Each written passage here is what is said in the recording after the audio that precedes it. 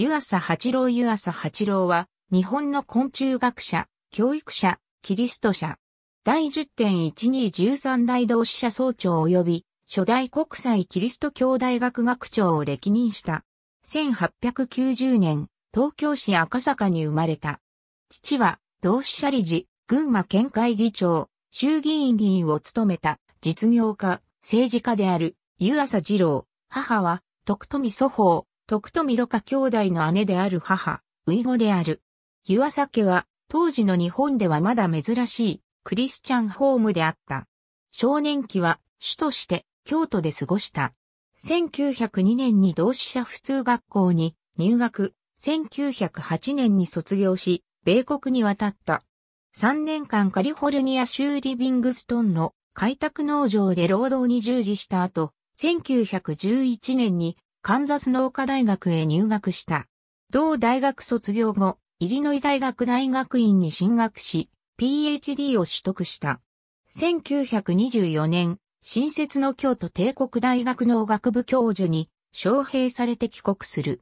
当時としては、リベラルな教育を行い、今西金次、森下正明、内田敏郎らを育てた。1926年、東京帝国大学理学博士。論文の題目は、 A Classification of the Larvae of the Tenthredinoidea。1933年滝川事件が勃発。農学部評議員として、滝川幸辰の免職に反対する法学部の立場を支持したため、その思想的立場を当時の日本社会に対して明らかにすることとなった。1934年3月、同志社総長事務取扱いとなり、翌年2月正式に第10代総長となった。戦時職が濃くなり、キリスト教系教育機関に対する圧力が強まる中、南極に対処する新島城以来の同志社独自の共学精神を貫こうとした湯浅は、軍国主義に傾倒する当時の政府、軍部と対立した。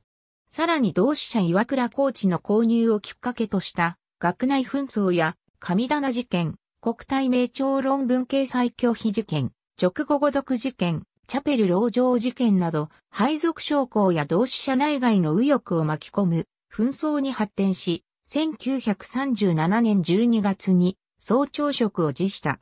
1938年、インドマドラスで行われた世界キリスト教宣教会議に出席する。1939年、米国に渡り、宣教会議でのメッセージを伝えるために、全米各地で講演を行った。1941年4月、リバーサイド日米キリスト社会議で、米国のキリスト教会にアメリカ教会への感謝状を送った。日米開戦後も米国に残り、居留地に交流された在留邦人や日系人を激励して回った。終戦後、日本に戻った。1947年、再び壊れて同志社第12代総長に就任し、同志社大学をはじめとする戦後の同志社諸校の土台づくりに尽力した。1950年、同志社総長を退任して国際キリスト教大学設立準備に携わり、後度大学初大学長に就任、同大学の礎を築く上で重要な役割を果たした。1961年10月、同職を退任する。退任後は長く同大学理事長の職にあった。理学博士、同志社大学名誉文化博士、国際キリスト教大学名誉総長及び名誉人文学博士。湯浅は自身の生活心情を表す言葉として次のような言葉を残した。